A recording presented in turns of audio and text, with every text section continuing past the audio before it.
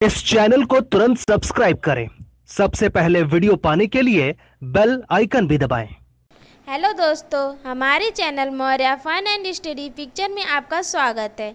आज हम आपके लिए सोयाबीन की बड़ी की रेसिपी लेकर आई हूँ, जो सेहत से भरपूर और काफ़ी कुरकुरी और पाँच मिनट में रेडी हो जाने वाली ये पकौड़े हैं।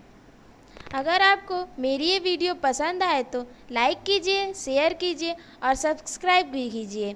चलिए हम स्टार्ट करते हैं पाँच मिनट में सोयाबीन बड़ी। मैंने लिए हैं पचास ग्राम सोया बड़ी, चार कप पानी, एक चम्मच नमक लिया है। अब हम कढ़ाई में चार कप पानी डालेंगे, उसमें एक चम्मच नमक डालेंगे और उसको उबलने देंगे।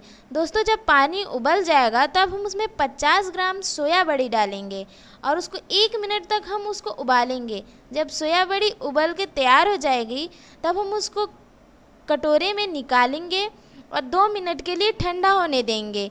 जब सोया बड़ी ठंडी हो जाएगी तो उसको हम हल्का हल्का दबाकर उसमें से पानी निकाल देंगे। जब तक सोया बड़ी हमारी ठंडी हो रही है, तब हम लहसुन और मिर्चा का पेस्ट तैयार कर लेते हैं। हम लहसुन और मिर्चा का पेस्ट तैयार कर लिए हैं। अब हम पकौड़े का पेस्ट तैयार करेंगे। मैंने लिए हैं एक चम्मच दही, तीन चम्मच बेसन और आधा चम्मच हल्दी। अब हम बर्तन में हल, दही डालेंगे। फिर उसमें लहसुन मिर्चा का पेस्ट डालेंगे। उसके बाद हम दो चम्मच बेसन डालेंगे।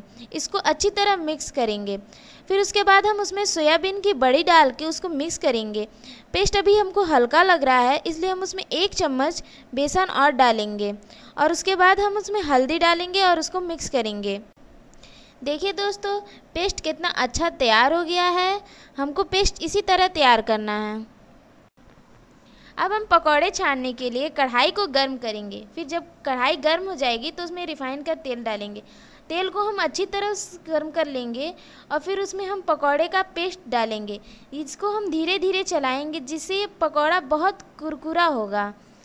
देखिए, अब हमारा पकौड़ा तैयार हो गया है। यह कितना अच्छा दिख रहा है। हम इसे बर्तन में निकाल लेंगे। देखिए, ये कितना शानदार पकौड़ा बन के तैयार हो गया है। इस पकौड़े में थोड़ा सा भी तेल नहीं है। इसको आप ऐसे ही सर्व कर सकते हैं या फिर सॉस या ग्रीन चटनी के साथ सर्व कर सकते हैं। अगर आज आपको मेरी क्रिस्पी और सेहतमंद पकौड़ा पसंद आए तो लाइक कीजिए, शेयर कीजिए और मुझे कमेंट में बताइए कि ये पकौड़ा आपका कैसा बना। धन्यवाद।